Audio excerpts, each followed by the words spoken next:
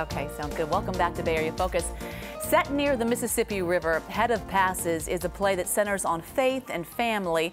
Please welcome its writer, Tarell Alvin McCraney, to the program, and thank you so much for joining me. Thank you. Wow, you're the playwright of this, so the, so many months spent, right, with Right. the pen and paper and thoughts in the middle of the night, I'm sure, and at the computer. Right. Well, initially, the first draft of the first production premiere of the play uh, was inspired by sitting down with the director, Tina Landau, and a group of actors, and we read the book of Job.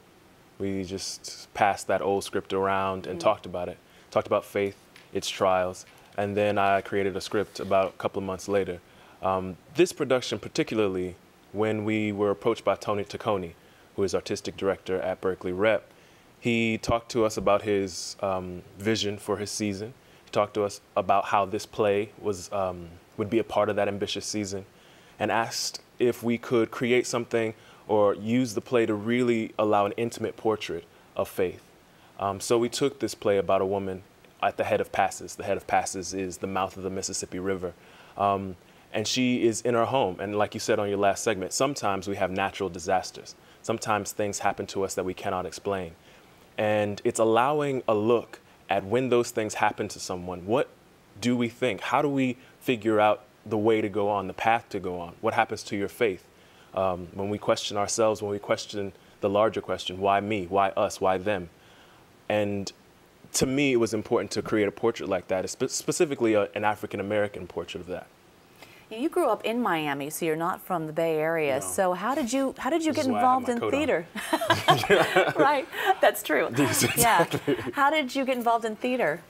Um, I originally, uh, it's a really boring story now, No, but it's not. I'm sure it is. It's uh, but at the age of five, I started in plays. I was a cat in someone's play. Wow. Yeah, I You gotta start whis- somewhere. With the little whiskers and the little tail and uh, squirming around on someone's stage. And then since then, I, I just kept um, being asked to do plays, to Mm-hmm. remember speeches, to uh, uh, one Fourth of July recite the um, the preamble from the Constitution, and then uh, I was afforded because we had a great education system at the time. Um, really wonderful uh, avenues in middle school and high school to be in theater school, theater classes.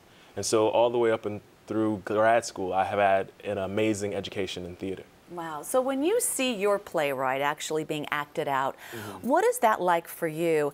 And and how many rewrites do you have to do just because maybe it didn't didn't translate well on the stage? I think of playwrights as, uh, you know, there's that uh, famous uh, painter.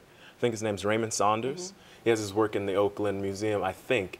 Uh, Sometimes he will go to the museum with his paint, and even though uh, uh, a picture's finished, he'll sort of retouch. A Little touch up A here and little there. touch up here and there, Yeah. add a little color. Oh, I missed something. And I think that's the thing about plays is that they're living collaborations. Uh, each actor brings something new, and you want to give that actor a voice uh, or allow their voice to come through as magnificently as you can. And I'm told we have actually a clip of the rehearsal, so let's take a look and you can talk about it after. Awesome. Okay. I got a guest come. I told you close. How you know they ain't close? Family. This person know your heart. You riddling me, Aubrey. I ain't. You went. You went and got your sister? Hell no. Mind Aubrey. Excuse me, mama, no. I ain't get cookie. Ain't heard from her. Creeker said she coming. Creeker talk too much. I called her, like you asked. Well, I called down there where she stayed by, cause she ain't got no phone. She say to the lady who phone she be using, she might come. What kind of answer is that to give your mama? Look at you, Aubrey. Judging on that girl. She come here tonight. She looking to see her people. Can you show? Can you show her that and not what the rest of the world do? Can we try that when she comes?